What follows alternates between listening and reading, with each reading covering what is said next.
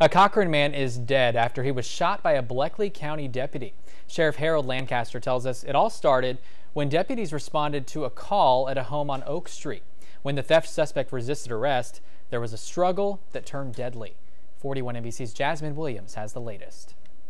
George Wright says what started out as a typical Friday night changed in a flash. Blink of an eye, just, it just happened. He says his brother Rasheen Wright was at his house when someone stopped by accusing him of stealing a bat. George says that's when two deputies arrived and attempted to arrest Rasheen.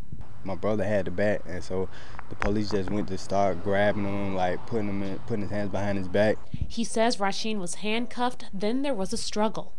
Everyone fell behind the deputy's car. George admits his brother had a record. He says he didn't know if his brother had a gun.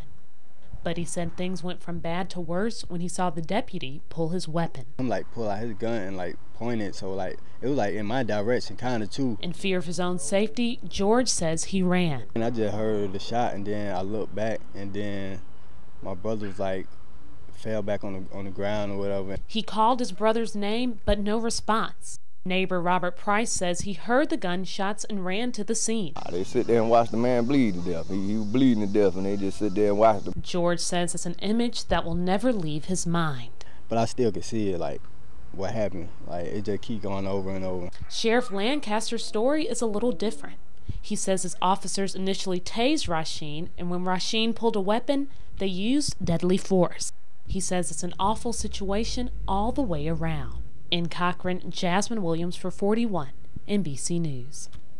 The case has been turned over to the GBI for further investigation, and the officers involved are currently on administrative leave. Sheriff Lancaster says he's standing behind them and supports their decision to use deadly force. Now, we reached out to the Sheriff's Department for any updates, but we haven't heard back.